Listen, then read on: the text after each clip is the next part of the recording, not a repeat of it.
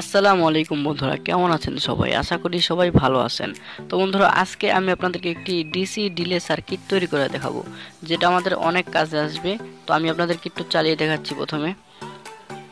তো এই দেখুন, আমি এখন ব্যাটারি পাওয়ার দিচ্ছি। এই দেখুন, লাইটটি কিন্তু জ্বলতেছে না। এটা ঠিক পাঁচ সেকেন্ড পরে অটোমেটিকলি অন হবে। এই দেখুন, পাঁচ সেকেন্ড পরে অন হয়ে গেল। আপনারা চাইলে এটার টাইমিংটা আরও বাড়াতে পারেন। এটার ভিতরে একটা রেজিস্টার ইউজ করা হয়েছে। সেই রেজিস্টারের মান যদি আরও বাড়িয়ে দেন, তাহলে এটার টাইমিংটা আরও বেড়ে যাবে। আপনারা যদি চান এটাকে দুই ঘণ্টা বা এক ঘণ্টা পরে অটোমেটিকভাবে অন করাতে পারেন। তো ভিডিওটি সম্পূর্ণ দেখবেন। আমি আপনাদেরকে একের পর এক জিনিসপত্র বুঝিয়ে দিব এবং দেখিয়ে দিব।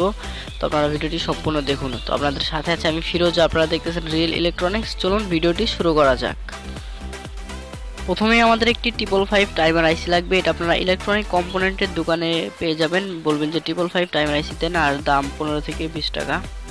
এরপর লাগবে একটি ক্যাপাসিটার ষোলো ভোল্ট একশো মাইক্রোফায়ার এরপর আমি একটা সাতচল্লিশ কিলো ওমস রেজিস্টার ব্যবহার করেছি, এটা দিয়ে পাঁচ সেকেন্ড থাকে, তো আপনারা চাইলে আরও বাড়াতে পারেন হিসাব করে।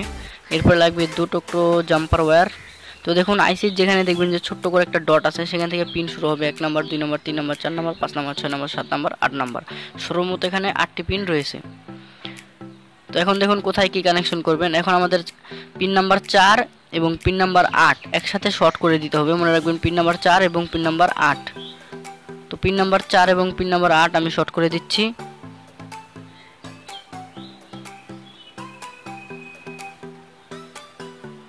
দেখুন বন্ধুরা পিন নাম্বার চার এবং পিন নাম্বার আট শর্ট করে দিলাম। এরপর আমাদের পিন নাম্বার দুই এবং পিন নাম্বার ছয় শর্ট করতে হবে। এই যে পিন নাম্বার দুই এটা, আর পিন নাম্বার ছয় এই যে এটা। ঠিক আছে? পিন নাম্বার ছয় শর্ট করে দিতে হবে আমাদের।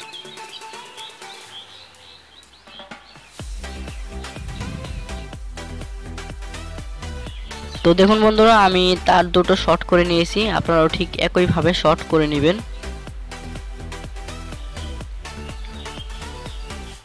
এখন আমাদের রেজিস্টারটিকে সোল্ডারিং করতে হবে।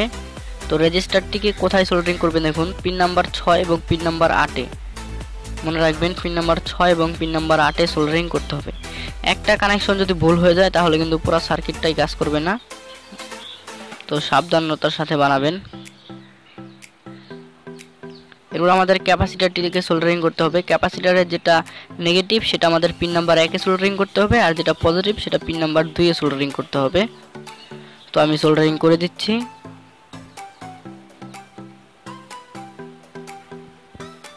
দেখুন বন্ধুরা সোল্ডারিং করে দিলাম। এরপর আমাদের ফোর ভোল্টের একটি এলইডি বাল্ব নিতে হবে। দেখুন এই বাল্বটি কোথায় সোল্ডারিং করবেন। পিন নাম্বার চারে হবে পজিটিভ এবং পিন নাম্বার তিন নেগেটিভ তো আমি সোল্ডারিং করে দিচ্ছি। পিন নাম্বার তিন নেগেটিভ আর পিন নাম্বার চার পজিটিভ দেখুন, কীভাবে সোল্ডারিং করলাম। এরপর আমাদের এখানে ব্যাটারি পাওয়ার দিতে হবে, তো আমি এখানে নাইন ভোল্ট কানেক্টর নিয়ে এসেছি। তো পিন নাম্বার আটে হবে পজিটিভ আর পিন নাম্বার একে হবে নেগেটিভ ঠিক আছে? এটুকুই সার্কিট কাজ শেষ। দেখতে পাচ্ছেন আর বন্ধুরা, এটা আমাদের সার্কিট ডায়াগ্রাম আপনারা চাইলে এইগুলা দেখেও বানাতে পারেন। তো এখন আমি আপনাদেরকে আরেকবার চালিয়ে দেখাবো।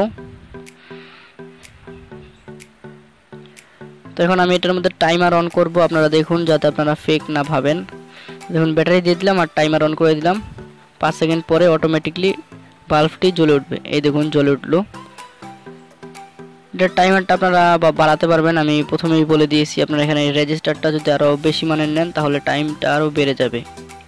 আর আমি নেক্সট ভিডিওতে আপনাদেরকে ডাইরেক্ট এসি কারেন্টের ডিলে সার্কিট বানিয়ে দেখাবো। সেটা অনেক কাজে আসবে, আপনারা অনেক প্রোটেকশনের কাজে ব্যবহার করতে পারবেন। আমি ওই ভিডিওটাতে বলে দিব। আর যারা এই ভিডিওটা অনেক পরে দেখতেছেন, তাদের জন্য ডেসক্রিপশন বক্সে নেক্সট ভিডিওটার লিঙ্ক দেওয়া রইল। তো ভিডিও এ পর্যন্তই। ভিডিওটি ভালো লাগলে অবশ্যই একটি লাইক করবেন। সবাই ভালো থাকবেন, সুস্থ থাকবেন। আল্লাহ হাফেজ।